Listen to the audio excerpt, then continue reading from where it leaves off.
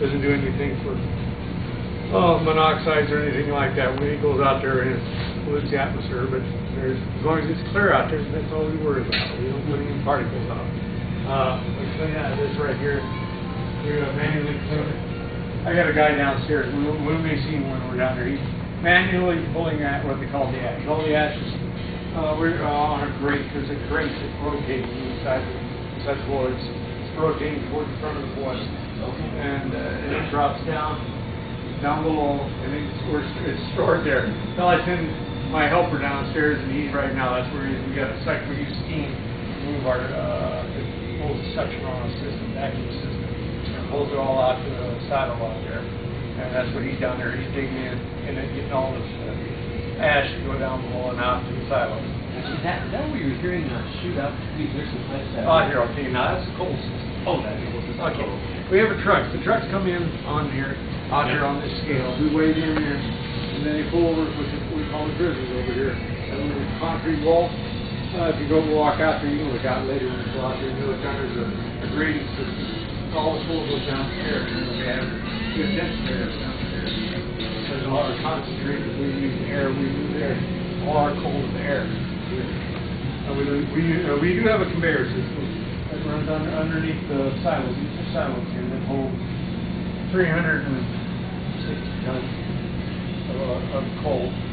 And, uh, then move underneath, we move, and it moves the coal down toward another big conveyor, we use the air then to shoot it up into our bunkers, which are, uh, these three here, are, they hold coal for a day, you I'm saying, it's just, it's like a day tank, if you know anything about these things, like a day tank, you hold there all your coal, coal for the, work during the day. Okay. Instead of having the silo directly on there, we just use a day, uh, a bunker.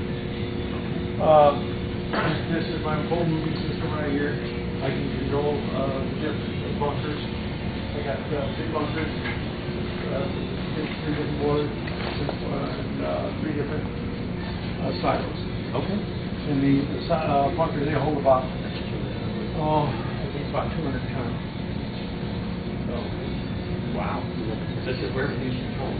and everything's right here, this, this is con- considered control of this, like, uh, uh, like I say, this, you use a Delta V system here, uh, for, our- looks, I can, uh, like right here, I can, sh- uh, I can show my drum level, where the water is right now. This shows me my, uh, drum pressure. This is what, this is what the whole plant together, what we're putting on down the line. And I control everything from right here, my fan speeds, from, uh, this is uh, an ID fan, this is an indirect fan. In other words, I'm pulling the suction on this boiler. And I'm also pushing air into it with an FD fan downstairs. And to cool the sides of the boiler, boiler walls, I use an overfire fan. I blow air in along the side of the wall to keep the plane, everything off the sides of the wall and into the center of the boiler. Create turbulence also. Uh, also regulate my O2, excess O2 in the boilers, my flue gas temperatures. It's just, uh, I've got, I can control the majority of everything right here. I got- I've got it all right here, starting and stopping the boilers. I don't physically have to go out and start them. Is, is, uh, this system also automated where it'll take care of some stuff by itself? Or do you have to? do No, I have to do most of it. Yeah. I It doesn't do it on, I mean, as far as, uh, I'm trying to compare the two. Um, Right now, we're, we have uh, variable fans. Before, we had only two types of fans. We had a high speed and a low speed. And when you switched them, I mean, one would drop out, one would drop out, the other one would kick in, and coming up to speed. Well, when that happened, there was that lull in there, and you had nothing on the boiler, and you puff this place every time I do it. But now, with the variable speed, there's just, it just goes from a couple, let's say, uh, 800, 600 RPMs up to 1200 No. I, I don't even re- re- realize happening. Uh, which makes it real nice. That makes it really extremely nice around here. Uh, I watch my, uh, over here on this other, you know, I can watch my pressures, uh, uh, what I'm putting out as far as, uh, oh, right now I'm putting up, uh, let's see, each one of the waters is, well, like twenty-nine thousand, this is thirty thousand. I can watch them over here. I try to keep them together, keep, try to match them up, and I can regulate that with the stoker over here, with stoker, what they call stoker bias. If one is overpowering the other one, I get either a negative or a positive, just, just so comes, uh, won't bite each other. That's do, right? Just to our. Uh, Is there a reason why they don't produce electricity here? well, at the time, it was cheaper when they built this plant, just to buy electricity than trying to generate your own.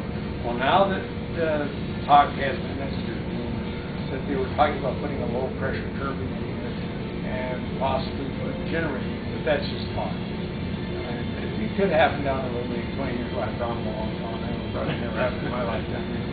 It was just talk. I mean, uh, generate down at the old power plants, we had 600 pound, uh, pound system, which could generate uh, electricity, which they did for the whole campus. But they, they found it more feasible just to buy it from Minute Pacific Power and Light. Now it's, uh, I don't know anymore, either it changes it every year.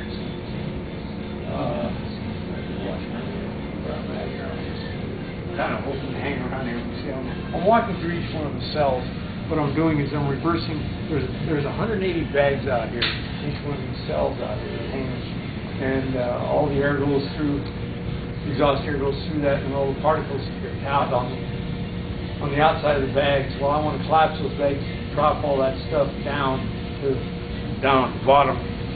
That's what's going on over here into the deep bottom of the hopper. That's what I'm doing right now. They're all the ash is dropping down into those, and you know, I come along with this system and uh, suck it all, all the ash out, and put it out into the side of it. Okay. Gotcha, so you just cycling through. I'm cycling through every every cell out there, just collapsing the bags, putting in reverse, what's called a reverse air fan. In inflating the bags one way when it's a normal operation, then I I put another motor on and I uh, put the fans and I collapse the bags and all the stuff on on, collapse on the outside. All of a sudden, it releases the bags drops down to the bottom of the, of the uh, bag house. I now I'm on each one of these little hoppers out here. Oh, I got to go see that. Cool. Bye. There's a vacuum. Yeah, back in, you gotta. Oh, that's how it is. Yeah, okay, right now, Yeah. the guy downstairs, he's pulling ash. And I gotta have someone vacuum pull it on out there. Right. We use a Venturi type system. Uh, when we're using steam blowing, you know, how Venturi works. Okay, they're using that, they've got steam going in there, and it creates a vacuum on the whole, sy- on a, on a piping system. It's sucking out, just like